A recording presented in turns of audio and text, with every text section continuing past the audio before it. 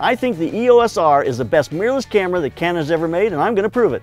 Over the R5 and the R6. Yep. This guy. Hi, this is Jay P Morgan. And this is Kenneth Merrill. Today on the Slanted Lens, we're going to take a look at the question as what is the best Canon mirrorless on the market today? You may think that's very obvious, but I don't think it's quite as obvious as you might think. And I also do want to just see how much of a difference there is. When we've shot the R5 and the R6, we have both been really impressed with a lot of things about them, but the R still holds its own, I think, so we want to compare the images side by side, talk about autofocus and all the other things. Let's give a special shout out to Lens Pro to Go, which provided all of our cameras and lenses here today. That is an incredible company where you can get things to test and to be able to work with. Uh, any kind of lenses, any bodies that you need. It's really a great place to be able to rent from. So we're going to do the picture quality test, and this is where we're, I think, we're really going to see if there's a difference. First of all, these cameras have very different ranges of resolutions. You have 20 megapixels with the R6, 30 with the R, and then 45 megapixels with the R5, which is awesome.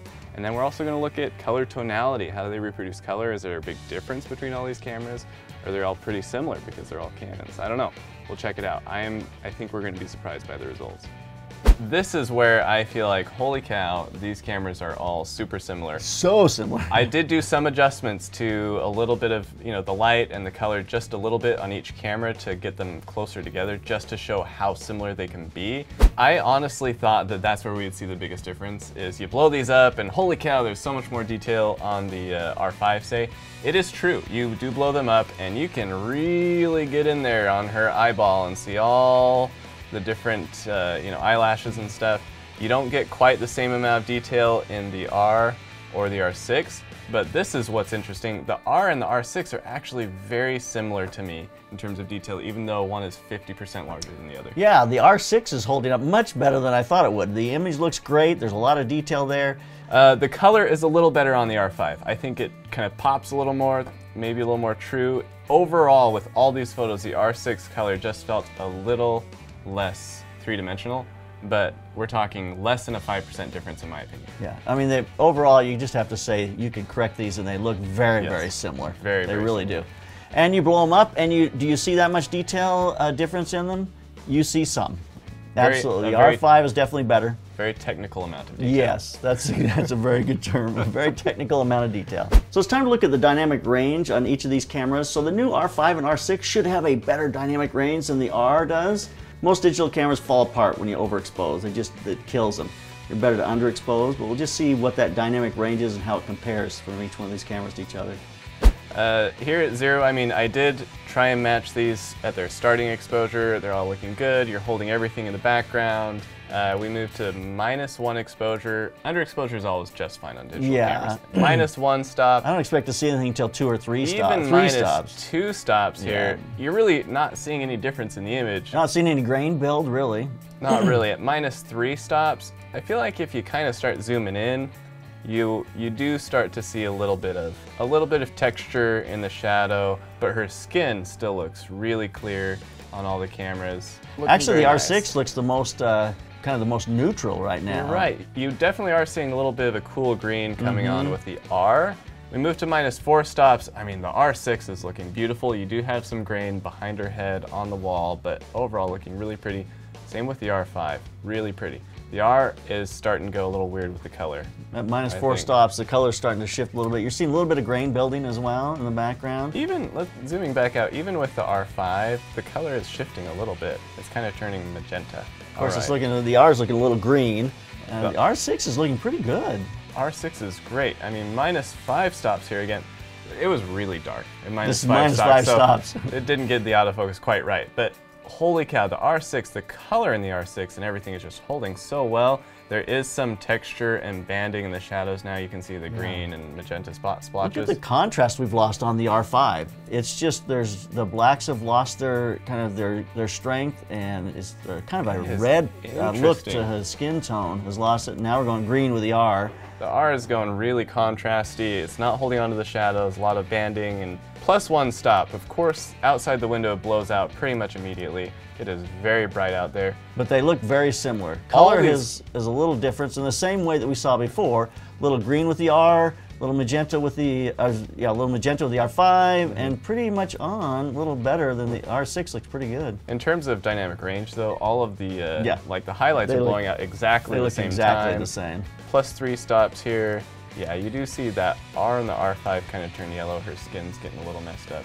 R6 still holding onto the color a little bit better. A little better, but boy, look at those highlights. They look very similar. Although look at the R6. You see the cross braces of the Mm-hmm. window. You see a little of that with the uh, R, but you don't with the R5. the R5. That's It's interesting. Completely gone.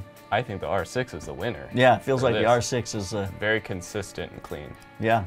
All right, here's our ISO test. A little bit of a mixed lighting test too, because we have some warm and cool light coming on her. At 400 ISO, all these images are looking really They good. They look very good. Most of these cameras at 400 look great. Let's see what 800 looks like. Boy, at 800, they're still so clean. I should point out the R6 is a little darker than the rest. And It that, is. that might have been the case in dynamic range test. I did kind of try and match the levels on all the exposures, and maybe the R6 is a little darker overall, but it's nothing you can't correct. No, 800 looks great. If we go to 1600, I'm I having a hard time seeing much even on any of them. on any of them. Her skin still looks really nice, even on the R. does. I mean, the grain's really not building at 1600. 3200, The R5 is so clean. it really is. I'm curious how the R6 would look if we boosted the exposure a little bit, but it's also pretty clean. I like the consistency with the R6, the color and everything. The R, you do start to see it even in her skin. You can see it in the wall behind her. Yep. 6400 ISO is, you are starting to see the grain on all the cameras. Um, Still very similar. but well, the R5 feels better. The R5 There's- does feel better. Yeah, much better. And the R the R6 looks actually worse than the R or similar to the R. I'd say similar. Yeah, I don't see as much in her skin, like this cheek on the right. I guess you're right. 12,800 isn't going to look great on any of them, but I think the R, you definitely see it stronger. Look at the, the highlight on her forehead and the green that's happening on the R. You're getting a little bit of green on the R6 as well. It's really interesting. It's starting to build there. You're seeing some of that in the R5, but it's holding much better. So that's at 12,800 though. I mean, that's, uh, Unreasonable. yes, it is unreasonable. It's interesting, the R5 is washing out like it did with the underexposure. That's what, how it looks to me. yeah, the contrast has become very, you don't see great blacks, you don't Mm-hmm. see, the whites are not very clear. The R6 is very consistent with the look, but it is building grain more, I Yes, think. And- absolutely. And, of course, the R is not doing as well as either of the other two. Again, though, I mean, if, if we're comparing the R and the R6 particularly, maybe a stop difference at most. So that there you look at the ISO test. I mean, it's. I mean, you can go up higher on some of these, Yeah, but I don't know that it really The matters. R5, the R6 goes up to 100,000 ISO. Uh, I'm frankly not super impressed by high numbers, No. unless it looks good. Yeah, exactly. So one of the things about the new Canon cameras is they have the new Canon dual pixel autofocus system, version 2. And that's supposed to be much better than the original. The original was pretty good. I always felt like the Canon R was kind of top of its class in terms of autofocus. So I'm excited to see how they compare. Let me just say first, we took the best take, as it were. We did this multi multiple times with each camera. We took the best take from all of them. And in that case, almost every single image is focused on her across all three cameras. With yeah, we have to say that in doing that, it seemed like the R was pretty on with most of the uh, most of the images Mm-hmm. on each take that we did. We saw more in focus on that one. we R- saw a the lot in R6 focus. The R6 was very good. The R6 was by far the best. It was- just spot on. And that was throughout the day as we were shooting, I just felt like the R6 was very responsive, always sharp, always in focus. Now the R5 had a lot of images that fell out of focus and struggled a little bit when it crossed a tree, but we did get a take where it was completely in focus the entire time. So I don't know how you judge something like that. I'll be honest, I think this tree, her walking behind the tree, really messed it up for a lot of. We were shooting a lot of other cameras that day too. Messed up for a lot of the cameras, and it even messed it up for the R5. When we did some where she just walked straight towards the camera, It's on every time. it's on every time. And to that point, we did do a low light autofocus test. This is really interesting. This is a new test that we've done just on the last couple of camera reviews, and that is we're at minus four stops. And so you are, are way underexposed, which means the camera's not getting enough light, and you're having to keep focus as the person walks towards the camera in that really low light situation. The R6 did phenomenal. I mean, there are some images here that are a little soft, it's not quite on her eye, that kind of thing, but it is tracking her and most of the image uh, most of the images are sharp and acceptable to my eye, my judgment. Yep. Yeah, the R5 also did really well in the scenario. Uh, it didn't skip a beat. And in fact, I would say, you know, it, it performed on par with the R6. Again, maybe a little bit of softness here and there, but overall, very acceptable, tracking her just fine. The R really struggled. It held on to her until she walked into the shadow and then gone. She, it, and we did this. a Never found her again. we did it a few times with the R and it did not find her again. It could not figure it out. I think of all of the tests we've done, the autofocus is the one where the R5 and the R6 far outstrip the R. Yeah, yeah, they definitely. and The R held up real well in just the open light test. Yeah. It held up very well. You know, but in that low light, it regular just had a hard shooting, time. it seemed to be just fine. Yep. But when you're pressure testing these, the R5 and the R6 blew me away. They were so good. Yep. So let's take a look at video with these three cameras because this is the area that I really feel like the R is a better choice than the other two just because the R delivers and doesn't shut down and overheat. But it has some significant disadvantages. I, let me just talk about the disadvantages here for a second. First of all, as you can see already, I took all of these video clips just standing, leaning against the doorway even. Really trying to stabilize really trying it. to stabilize it. I'm not trying to move the camera at all. Uh, same lens, same position. You obviously see the crop factor, which is, I think, the number one disadvantage of the R. It is. You cannot get a wide shot to save your life with that camera because the crop is so intense. This is a 50 millimeter lens. You compare the composition on the R to the composition of the other cameras. It's just ridiculous. Second of all, the image stabilization, the R doesn't have it, and you No. see that here. It's just like very shaky. It's so shaky. You got to keep that thing on a tripod. You cannot handhold Yeah. that thing very easily. The IBIS on the R5 and the R6 are both really good. Yep. very smooth. It's really beautiful. Finally, even just looking at it without zooming in or anything, I can see the noise on the R versus the R5 and the R6. These were shot at 800 ISO, and you do see it just with your eyeballs in a small frame on the R, and the R5 and R6 are very clean. So there's the R5 and R6 have superior video capabilities if they could just bring them to the party all the time and not overheat. And that is the problem. JP did an overheating test. I did.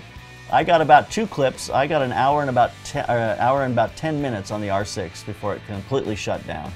I think if someone handed me two cameras and said, well, this one takes better video, but it might overheat after 25 minutes, I would have a hard time picking that one because you just never know what the scenario will be. Yeah, you don't. Just all of a sudden you don't have a camera. It's like standing there and not having a camera. Mm-hmm. Oh, I'm sorry, I can't shoot this right now. Yeah. I mean, it just doesn't work. So if you had to buy one of these cameras as a crossover camera, now I did, you could not make the argument that the R5 is a worse still camera than the R. The R5 is by far the most superior still camera I think on the market. But if you want the best crossover camera, I mean, in the R series, what's the best crossover camera? I think it's the R, just because you can use it consistently and you don't, it's not going to overheat on you, and you also get a great image as we've seen. Invest in the glass. That's really the importance to future proofing yourself. You get great glass, you'll be able to use that for years. And I will say the glass will probably make a bigger difference on your image than any of the actual cameras in this case if you're just shooting video or if you're just shooting photo. Uh, all of the images from the cameras were similar, but the lenses are going to make a huge difference. So there you have it. You'll probably have to make your own decision. Depends on your situation, how you're going to use the camera, and what's important to you. But as I'm looking at these things, the images are not that different. Uh, but you do have a video capability with the R that you don't get with the R6 and the R5 because they overheat. So I'm sticking with the R at this point. I own the R, but Lucky I was, but I bought the R5 and then I sent it back. Yeah. So I was I was ready to pay the money and step up. I, I'd have it right now if it didn't overheat and be so super happy about it. So it's so unfortunate. All right, so make sure you subscribe here to the Slanted Lens. Ring that bell so you get notified every time we have a video up. So keep those cameras rolling. And keep on clicking. Hey over there, hey, little help here. I'm feeling green, man. Come on, come over here. I just need you to click on the 18% gray on my SpyderCheckr. Come on, just give it. Click on it. Click on it. It's gonna make me look better. There you go. Yeah, just click, click. Ah, there you go. Don't I look better? You should feel better because I look better. It's that easy.